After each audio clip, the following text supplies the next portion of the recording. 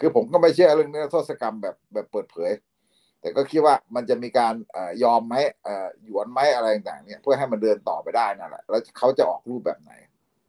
นี่ก็ยังลุ้นคดีมาอยู่อะเนี่ยอาทิตย์หน้าจะได้จัดกระหมายผมรู้วันสุกร์หน้าเนี่ย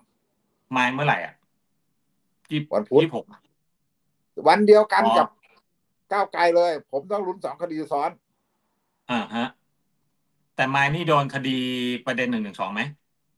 หนึ่งหนึ่งสองสิอันนี้หน้าสารทูตใช่ไหมไม่ใช่ หน้าถึงรู้จะไม่ตัดสิน เป็นคดีอ่าที่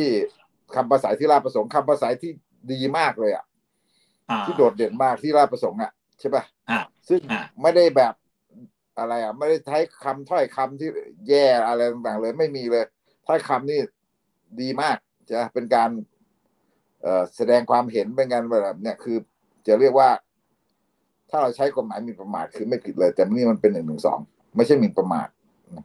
คือเป็นการแบบคล้ายๆกับว่าเรียกร้องการต่างๆ การเสนอแนะการแบบนะใช้ถ้อยคำที่สุภาพแล้วก็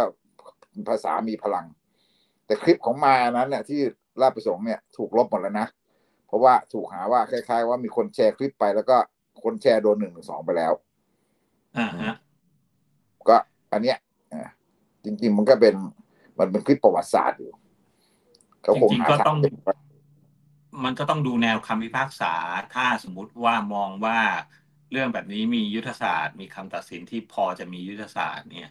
มันต้องดูไม่รู้ว่าจะสามารถเทียบไมล์กับกรณีอานนท์ไหมซึ่งถ้าเทียบอย่างนั้นเราก็กังวลใจ